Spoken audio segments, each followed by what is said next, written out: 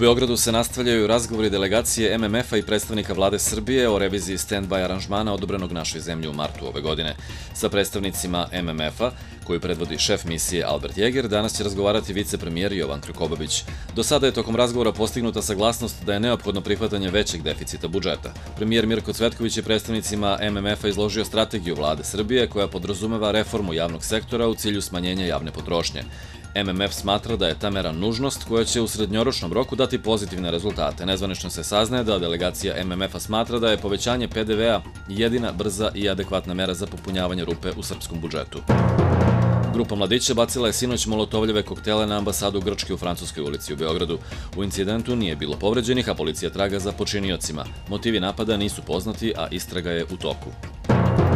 Opštinski sud u Požarevcu ponovo je donio rešenje kojim se obustavlja krivični postupak protiv Marka Miloševića i petorice njegovih saradnika za nanošenje teških telesnih povreda 2. maja 2000. godine.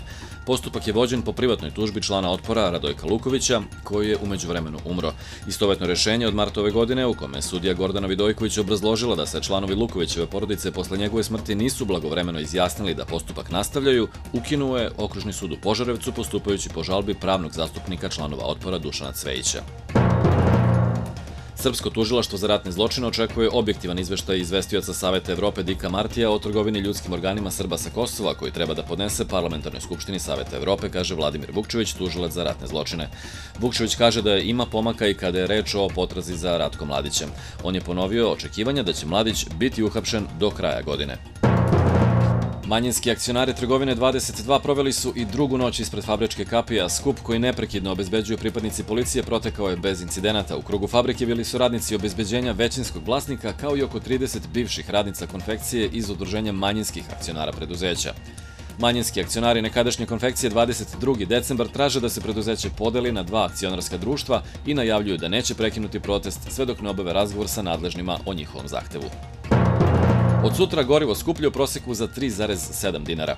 Litar motornog benzina i bezolovnog motornog benzina od 95 oktana koštaće 105,01 dinar po litru, a dizel goriva D2 93,1 dinar. Dinar je danas oslabio prema evru 0,03% i zvanični srednji kurs je 93,11 dinara za evro, objavila je Narodna banka Srbije.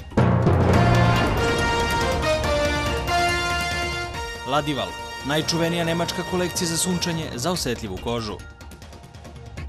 Do kraja dana u Srbiji sunčano i toplo vreme sa najvišom temperaturom do 31 stepena i u Beogradu pretežno sunčano i toplo s jutarnjom temperaturom oko 16, a najvišom dnevnom do 31 stepena.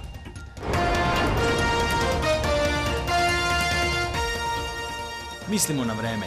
Moja apoteka. Hemofarm. Na sinoćnem dvočasovnom koncertu Madone na Ušću bilo je više od 30.000 posetilaca. Kraljica Popa pojavila se na bini na kraljevskom prestolu, a koncert je započela pesmom Candy Shop. Usledili su hitovi Beat Goes On, Holiday, She's Not Me, La Isla Bonita, Like a Prayer, Vogue, Music, Frozen, Holiday i mnogi drugi. Jučerašnji koncert u Beogradu deo je Madonine svetske turneje Sticky and Sweet.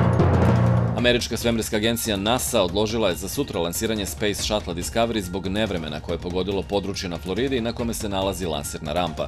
Discovery treba da dopremi sledovanje hrane, rezervne delove i laboratorijsku opremu u Međunarodnoj svemirskoj stanici.